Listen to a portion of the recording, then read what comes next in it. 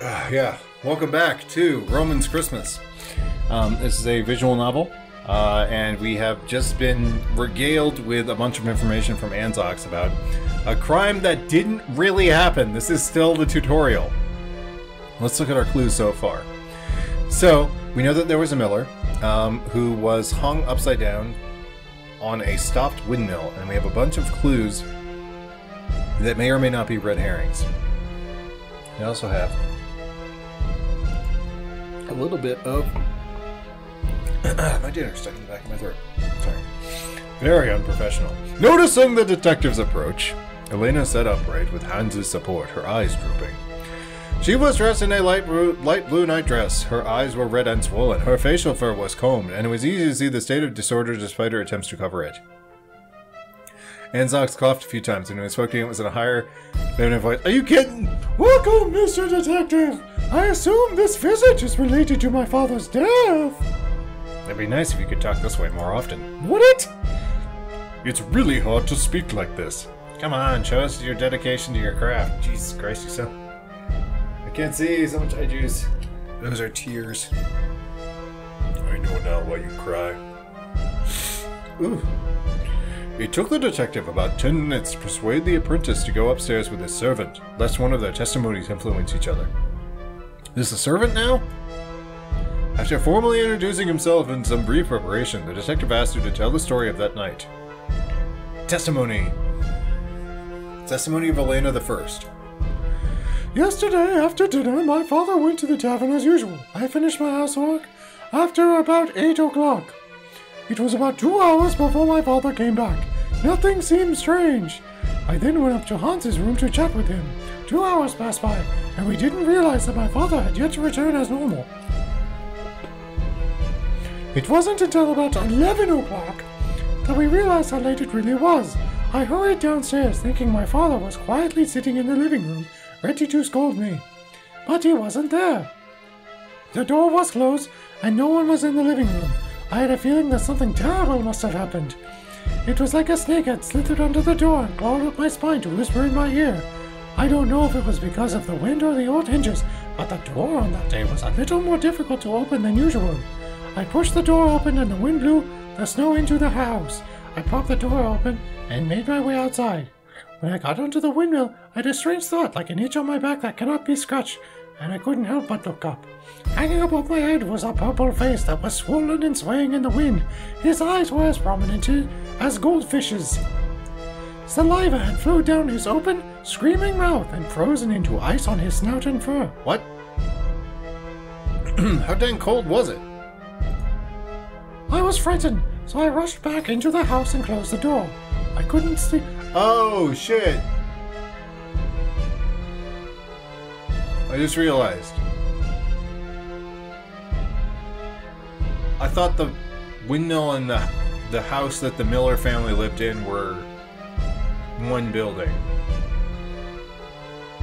I guess that makes more sense why the detective had to walk outside. Yeah.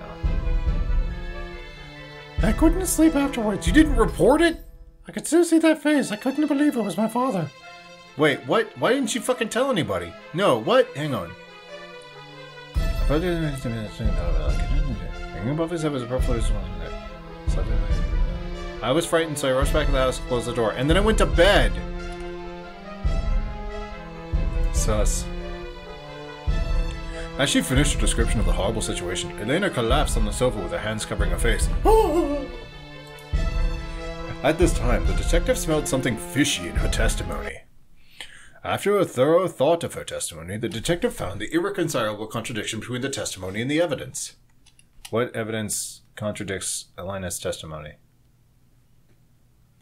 Uh, good question. The fact that she's sus as fuck. My father went to the tavern as usual. I finished my housework at about 8 o'clock. It was about two hours before my father came back. Nothing seemed strange. So the father came back at 10.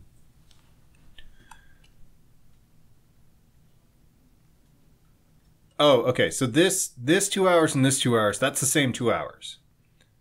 So she finished her chores, went upstairs to talk to Hans. Now it's 10 o'clock.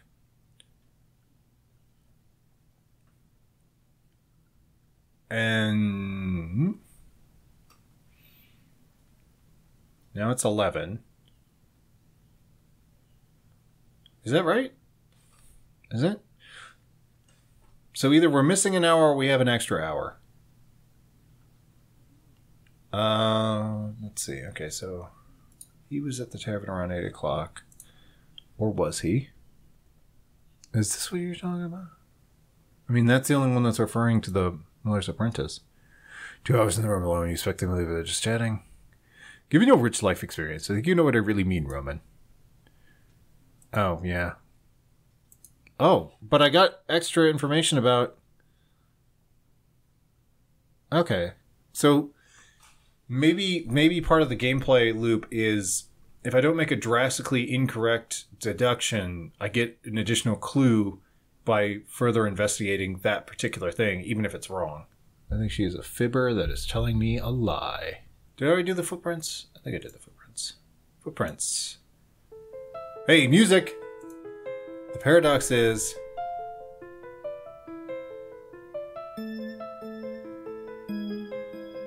No other footprints on the scene. Right, because there was a jumble of footprints in the clue. It stated only that only one series of footprints on the site reached the gate of the mill. Since Elena got out, she would have certainly left her footprints as well. I don't know how she did it. Elena must have con- concealed something. As for the reason, I can we can only go on with the inquiry. Ugh. After all, conje- contradictions can't be based on conjecture. Yeah. What what is that? What is that trope called? Uh, conviction based on contrafactual point, or just showing something's wrong. Yeah, I do need neon flashing letters because the clue I thought her inability to do basic arithmetic with time was not the clue that was important to the story. And also, he both came back and didn't come back in two sentences. The detective tidied his sleeves and carefully pointed out the errors in Elena's testimony. I don't know. Um, as I recall, Miss Elena, you said you went to check outside. Yes. Then why is there only one set of footprints from the outside of the house to the gate of the mill?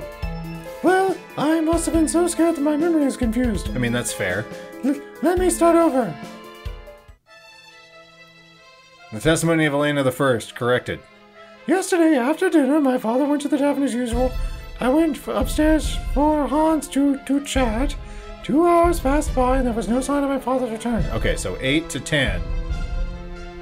I went downstairs around 11 and found. The- See? Look, there's the missing hour again! I opened the door and my father's distorted head appeared as the body swung outside. What? she's got she's got telescope eyes now. What is that I see way in the distance over there? A corpse! I was so scared that I ran back to the house and closed the door. The scene was so frightening that my memory is confused. Good night, every time I closed my eyes, a face would pop up. I couldn't sleep at all. As long as a lie is told, more lies are bound to be used to cover it up. It is a pity that even the most talented folk can't make up every lie perfectly, let alone under such pressure. Miss Elena, there's really no need to hide anything from me. Even the detective saw through the lies she made up this time. What evidence contradicts her testimony? The time! The time! The time is going to be doing a bit. From 8 o'clock to 11 o'clock, which saw the middle of the door, she was so frightened. He's at the windmill, though.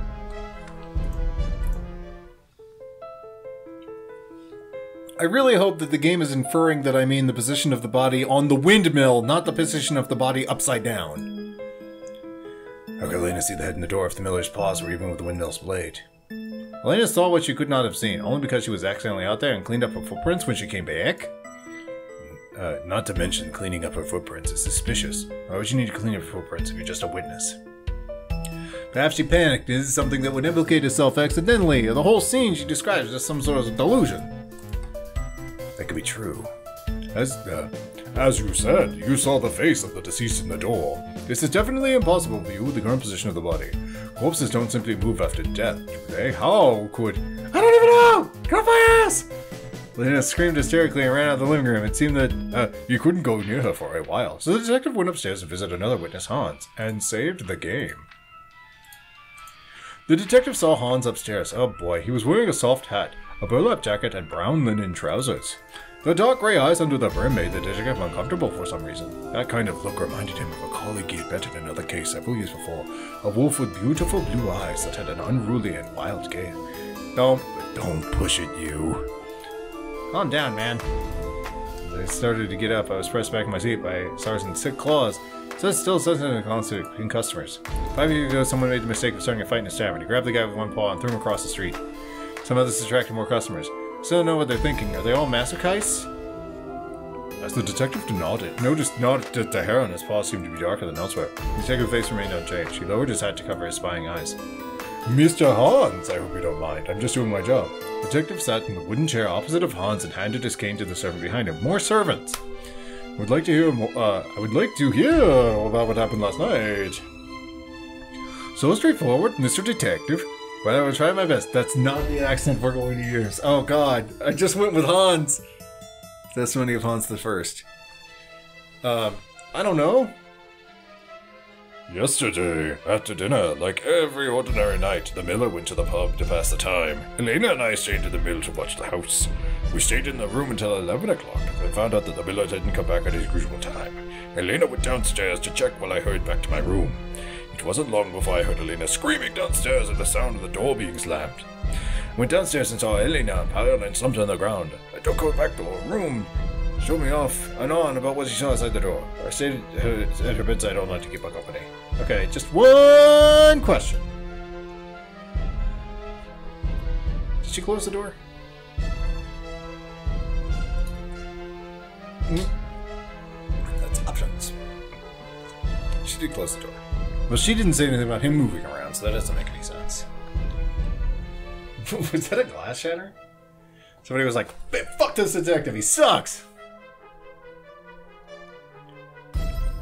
I guess alibi. I mean, that's pretty shitty.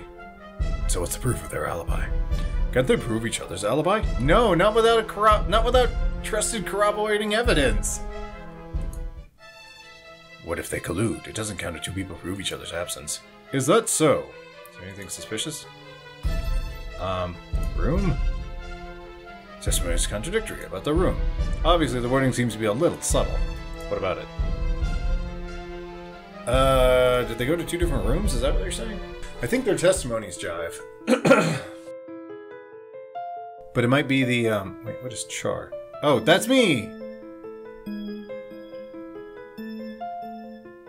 Oh, shit. it closes at 11 p.m. It takes them an hour to get home? Takes them an hour to get home? Is that what you're saying? Takes them an hour? An hour to get home? Hour to get home? Is that what you're saying? Uh, let's go different rooms.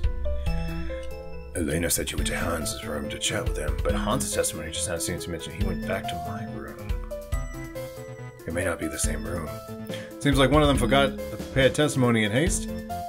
Mr. Hans, I have a small question. It has nothing to do with the case, and more of me being jealous old soul, soul face with two young lovers. In Which room do you usually date in? Uh, well, in Alina's room. If that were the case, then Alina's testimony contradicts yours. She told me you two were in your room as usual. Oh, really? She must be confused by the shock. Or was she so frightened that she forgot the alibi you agreed on in advance? What are you talking about? I don't even know. What are you talking about? Hans kept fiddling with his hands, and the fine beads of sweat moistened the short hairs on his forehead. His gray eyes avoided the detective's gaze. Oh, please excuse me, Mr. Hans. This is my speculation, after all. Okay. But I wouldn't choose a partner who gets nervous easily if I were you. Ah, your hands shake when you're nervous. Can you even grasp the rope with those? The detective could read Hans' sense behavior like a book, and now he need only a little physical evidence to prove his conjecture. They went out to the snowfield where the body had been lowered from the windmill by a servant. The miller's body was spread out in the snow so anyone can see it. As the detective inspected the now neatly arranged core, couldn't help but grimace. After reprimanding the Simon, he carelessly moved the body and went to investigate it. Search start. This took the place we want to investigate the picture. Oh, cool. Uh, well, his neck wasn't broken. What this? Put his, he put on his gloves, pulled aside the miller's coat, and revealed his thick fur. You could feel the liquefying fat under the miller's skin. The miller looked like quite plump thanks to his wealthy life. Is this even related to the case? Don't add so many pointless details to the case. Who knows? Perhaps it may be relevant somehow. His eyes aren't bloody. The detective looked closely at his face. He was scared by the dead miller's twisted face, even though it wasn't first time the first time seeing a body. Miller's wide open eyes were growing cloudy and lifeless. His wrinkles were getting clearer due to his stiff facial muscles. His mouth stayed shut. The silent fear still escaped from it. He had been greatly frightened. Miller's fur remained fluffy, with no sign of strange marks.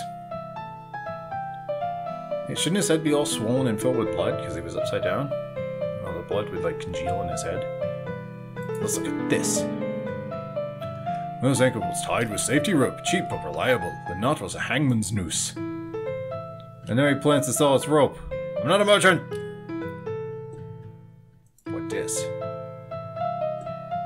Detective looked at his curled fingers and found gray fur inside his nails, which matched his own fur color. Under the miller's fur on his chest, there were scratches. He got up and finished the search. Now he knew what had happened. He did? Now let's put the pieces together. Wait, there's still a lot of questions to be solved. Didn't you take notes for the evidence? Take a good look. Hmm, it seems the main problems of this case lie the cause of Miller's death, the weapon that killed him, whether he was murdered, and the killer's motive. The process of how the case happened is also noteworthy. If it's impossible to confirm the sequence of events, we should focus on the factors that change with time, such as weather. What the heck?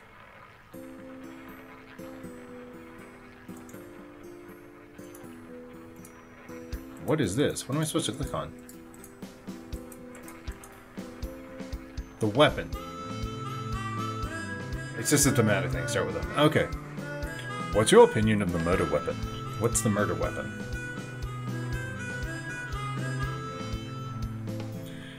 Couldn't be a knife or a stone because there was no external injuries. I don't know what you mean by twine. I guess they're referring to like a garrote.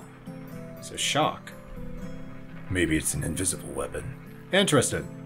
How about murdering him with a shock which caused by the sudden drop? Not everyone would be so easily scared as you are, but anyone would be shocked if they were hung without any preparation. Alone dr a drunk, overweight Miller. Indeed, I suppose sudden death could be possible because of these external factors. Seems like, though, this time the detail wasn't just to add dramatic flair. Of course, every detail is necessary. So I take nearly half an hour to describe the suspect's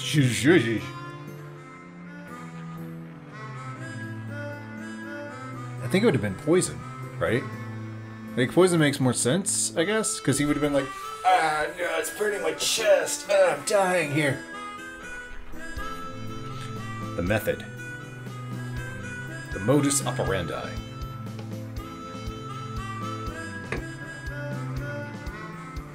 What's the process of crime? Detective reasoning arranges the occurrence chronologically from top to bottom by dragging. Okay. I like the little bedding thing, that's nice.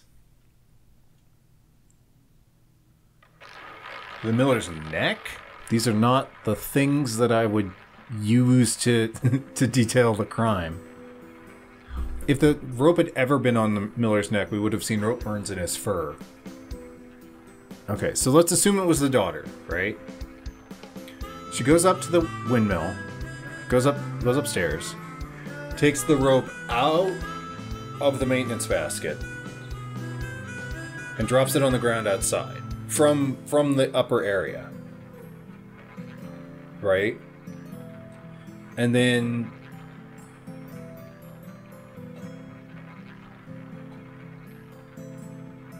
see the phrasing of this sentence is too passive for me to really parse correctly. The rope hitched to the miller's ankle.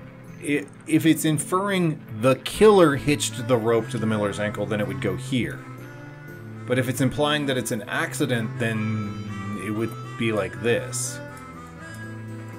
Where the rope fell down and then it hitched around his ankle. But I think what it's infer what it's implying is this. A hangman's noose. But it wasn't a noose. They specifically say, yeah, it's it's tied in a hangman's noose, but it wasn't tied around his neck in a hangman's noose. I think it looks like that, but I might be wrong. There are four chips in their positions. Chronological. You can manage your thought about the case. Top to bottom, place your bet without hesitation. Easy peasy. Okay, so four of these are right. I think he was on the ground and he stepped into it and then he was pulled up. like a snare trap!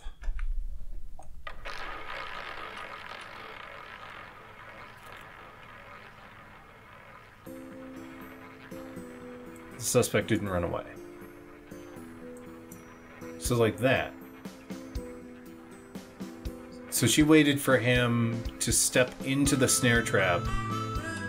And then why would she burn the wedge, keeping the windmill in position if she could just pull it out? Seems right. Luck may have been component, but it's not impossible. The motive. It was love. It was love. The motive's love. Obviously. Young love. Let's talk about the motive then. First of all, we've already established that Miller got along well with the villagers. So what could the motivation for murder be? What's the possible motive? Love. Love. Love. Miller wouldn't allow the relationship between his daughter and their apprentice. You mean someone murdered him so the pair could be together? Yes, one of the pair! Where you pay attention, Elegon? Come on! It's unnecessary to kill him just because of a disagreement, though. So that means something recently happened to provoke the culprit into killing the miller quickly. Then the identity of the criminal is obvious. Even so, there's no need to kill him.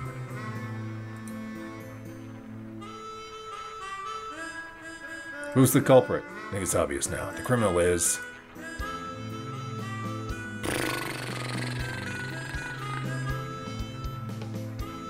We know Elena was the one that pulled the trigger, but I think it was both of them. Because because when Hans when when the detective went to Hans and said, "Yo, your story don't match up to Elena's," Hans wasn't like, "What the fuck are you talking about?" Hans was like, "Oh, uh, uh, mm, uh, uh, I don't, I don't know. I, it's so super weird. What did Elena say?" It was both of them. Yep, they share the common benefit in the operation. The trap needs cooperation. Dunzo. Then the whole picture of this case is crystal clear. How come you're so excited since you aren't the one to solve the puzzle? I'm just excited to see you work, okay? So the whole story of the case is. Flashback. The Miller was a nice guy, but he was particularly picky about his daughter relationship, especially relationship with his apprentice. But even he couldn't stop their love from blossoming. The two young people seized every moment they got to be together. And this situation had been going on for a while. As eager as they were to be open with their relationship, they couldn't bear the Miller's denial of their love any longer. All of a sudden, the Miller made an important decision. That is. Oh. When you say betrothed his daughter, you mean to someone else, right? The Miller had picked out a satisfactory candidate amongst his daughter's suitor to announce and announced decision to her. Yeah, okay, so that's who it was talking. to someone else, right? This ambiguous syntax is going to be the enemy. The Miller thought he had arranged a good marriage. Naturally, his special generosity made his acquaintances of the taverns extremely enthusiastic. Which is why they decided to kill the Miller that night. The lovers were supposed to escape that night after they finished the deed, but the heavy snow and another accident forced them to change their plan. After the Miller went out, Hans tied a noose with a safety rope and lowered it down from the third floor maintenance gondola. By the way, the noose is a method used to hang murderers. Their original plan might have been for Elena to meet the miller on the first floor, put the knot hanging from the windmill around his neck. Then Elena sent a signal to Hans and let him pull the rope up to hang the miller. But even the calmest people make a costly mistake when they kill for the first time. At around 10 o'clock, Hans, whose hands shook when he got nervous, lost his grip on the rope and dropped the knot in the snow, leaving the circular imprint. Elena, who had just opened the door and was ready to greet her father, saw the noose fall to the ground. She probably wanted to warn Hans to take it back, but the miller was already close by then. It would attract the miller's attention if the rope was pulled back up. The murder attempt should have failed by that point, but by sheer coincidence, the miller took a wrong step that changed the whole thing. She just knelt down and tied it to him? Oh no. Yeah, it was yeah, like the tiger trap. He stepped into the noose by accident. At that time, Hans had just grasped rope outside the maintenance gondola. When the miller's paw moved forward in the snow, the rope was pulled. Hans felt the pull and instinctively pulled the rope according to the original plan, pulling the miller up by his ankle. The miller fell in the snow, which was full in the air, leaving nasty marks in, the, in front of his footprints as he struggled. Hans hung the miller in the air, dared not let go of the rope, and let him struggle in the air. Oh, that's where he did the. That's where he did the. Oh no! Yeah! After a while of struggling and cursing, the face of the miller changed from red to purple. Somehow we could see this, even though he had fur on his face. And more and more blood rushed to his head, his movements being weaker and weaker until they stopped. Ilana and Hans wanted to escape after this comedy of success, but finally decided to disguise the scene as if the miller had accidentally died and plan their testimonies. After all, as long as they got rid of the suspicion of the murder, they could inherit the mill. The reward for taking such a risk was ex- extremely good. Hans tied the safety rope to the maintenance gondola, pretending that the miller had tied the rope himself. However, it had snowed by that time. The rope tied to the fence pushed the snow off, therefore there was no snow on the right side. He also struck a wooden wedge in the windmill gear to make, make the windmill stop spinning. As the distant villagers saw the windmill stop, they would naturally think the miller had accidentally fell and died while repairing the windmill. When the detective arrives with suddenly windless, the windmill wouldn't spin even without the wooden wedge stuck in. This was his chance to throw the wedge into the bread stove and destroy the evidence. Then all he needed to do was go back to his room and wait until dawn. If you don't look closely at the scene, you'd think that the miller died by accident. Although it looks intriguing at first, it's actually a novice puzzle with many loopholes. Next time, I'll give the legendary Detective Roman a much more difficult puzzle. After the long investigation, the detective told everyone his inferences in the tavern and left the final decision to the villagers. The snow stopped. The detective opened the door of the snow covered tavern. Thick snow still covered the paved road, and the detective set foot on the road home. It's late. Looks like there won't be any more customers tonight, so I'm going to close up. If you need anything, please come to the third floor to find me. Tarzan gave me and Elegant the room keys, closed the tavern, and went upstairs. Then perhaps it's time for me to go upstairs. I dare not risk being locked out if, by Tarzan if it's too late. There are three beds in the attic. Tarzan usually has two beds for himself. What? So he can have enough space to stretch his limbs. Third bed usually rented at a low price to acquaintances who need accommodations on a tight budget. This is Anzox. Elegant and I sat at the same time table staring at each other silently.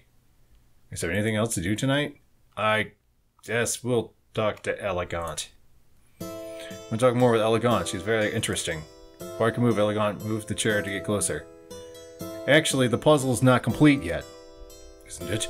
Whether it's the murder, the motive, or the method of committing the crime, they're all solved. Is there something else? Of course. The judgment.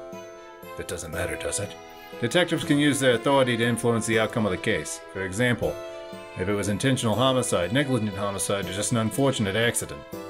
What the detective says will, in the end, determine the judgment. You're wrong. Every detective that earns this position will swear his loyal to the truth. I, yeah, that's true. I mean, the different degrees of murder do do count different. No, it's not even murder. That, that's man. That'd be like murder, murder two, murder one, and manslaughter. And that same truth is determined by the detective, is it not? For example, in this case, you believe they killed the miller by accident or they killed the miller intentionally? Whether there's one to intimidate the miller into canceling the engagement. Uh, what is your judgment? If I were the detective, I would tell the villagers. I mean, look, they're young. The two of them are young kids in the passion, the, the passionate throes of young love, right? So, yeah, it's kind of a boneheaded scheme to be like, what if we just killed my dad? Yuck, yuck, yuck. lol, lol, lol. but, but what if, ha ha ha, ha ha ha, what if, what if you were Minecraft Steve and I was a homicide? Ha ha ha, ha ha ha. Unless.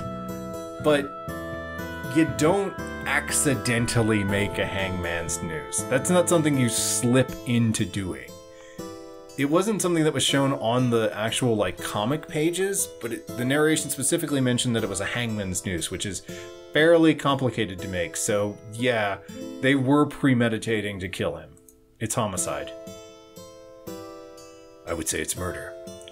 Is that not too arbitrary? The aim's to stop the engagement, which is not enough to kill for. I think it's enough. Killing isn't something that needs special reasons. Even the most trivial things can drive someone to kill. Not exactly my logic, but sure. Besides the way they committed the crime. Now we're talking. Oh, sorry. Besides the way they committed the crime. Sorry, I, I read your line by accident. I had to take my glasses off for a second. I think they just failed in their original plan and chose another way. Perhaps. Finish the rest of my beer. Look, okay, if you intend to, if you set everything up to commit a murder, and then end up committing a different murder with that same setup, it's still premeditated murder. You still put everything into place to facilitate the murder happening. So you planned ahead to make that all occur. It's not like it's not like the if it had been like the the apprentice and the miller were speaking to each other on top of the incompetent murder in the first degree. Yeah, exactly, exactly that. That's the case. It's not like the miller and the the the apprentice were like on top of the windmill, right? And the apprentice was like, "I can't believe you, you know, you you're giving you're giving your daughter away to somebody who's not me. I'm the most important person in the world." And the miller like stormed off and slipped on a patch of ice and then fell off and died. That would be that would mean like the the kid would be completely not culpable for that. But because he was like, "We're making a noose," that bar none is like reason enough to be like, "Look, he intended to kill him." Oh, great detective, you can really drink a lot. I'm a cliched character in that regard. It's not like I'm drowning liquor. Doesn't matter what I have a cup or two. Pointing to the cider, she only a sip up in front of her. After eating reason just now, it's definitely not something a drunk could come up with. I'll take that as a compliment. By the way, a quick tip for you. I approached her and said, Your clothes look a bit out of place in a tavern. Everyone's going to notice a teetotaling nun in the middle of a group of drunks. If you're planning on staying here, I'm afraid you just end up scaring away the target of your investigation. What? I see, an amateur mistake on my part. Elegant hesitates for a while and turns to look at me. Thank you for reminding me. Ah, you're welcome. So I turned to, you know, you really are investigating something here. I guess I'm right. You're not entirely wrong. But it's not too late to change my clothes. I have to think about how to play this afterwards. I'm gonna be not. I'm gonna not be a nun. I'm gonna be a mechanic. Elegant, who had been confident until now, seemed to become nervous as she gazed at the reflection in the book. She's she's nun 47. That's amazing. When you have a moment, I'd like to find some time to hear what you're actually doing here. It's late. I'm going to bed. Good night. Said goodbye to Elegant and went upstairs to my room. Okay. Ah, is that the end of this chapter? My room was the first on the right. Please. Unsurprisingly, Tarzan already cleaned the guest room impeccably. Maybe I was too drunk. I got my boots and flopped on the bed, almost dreaming when I touched the pillow. Okay, that's the that's the tutorial using stando power. Um, that's the tutorial of Roman's Christmas. Holy moly! Um, in my dreams, I could hear a restless place. Okay, we're done with this. Uh, we are we are finished with this episode. I hope you enjoyed it. If you did, please remember to follow me on Twitch, subscribe me on YouTube, hit that bell. Oh, for more videos like this every single weekday. Actually, my voice doesn't hurt as bad as I thought it was going to, but we'll see how I feel tomorrow. Um, you can find information about this game in the description below this video. Um, you can find me on social media at the Andrew on Twitter and Mastodon, on Facebook.com slash S15Studios, and on S-15studios.itch.io, where you can find all the tabletop games that I've written, including um, Crumbs from the Master's Table, which was released for the Attack and Dethrone God Jam, and Cyborgs and Cigarettes, which was released with the Racial Justice and Equality bundle. So please play those. Let me know what you think. You can also find everything that I write, including articles and short stories, such as recently released Lord of Vermin, on s-15studios.squarespace.com. Again, please let me know what you think. I'd love to hear from you. As always, hope you enjoyed this video, and I'll see you next time.